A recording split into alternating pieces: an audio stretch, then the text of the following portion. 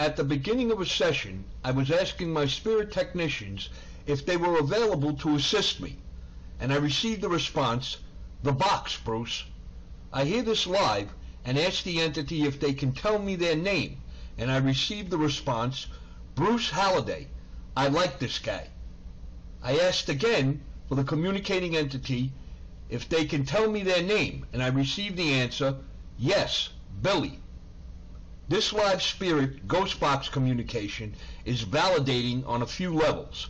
The communicating entity mentions the ghost box, then calls me by my full name, and gives his name in a direct answer to a specific question.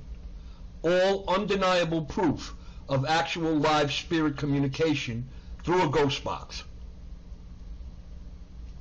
Okay, guys, Mike, Lisa, you guys around? Can you communicate today?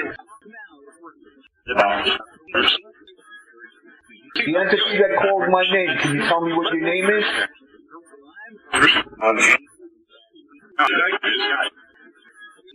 Okay, can you tell me your name? The entity that said my name, can you tell me your name, please?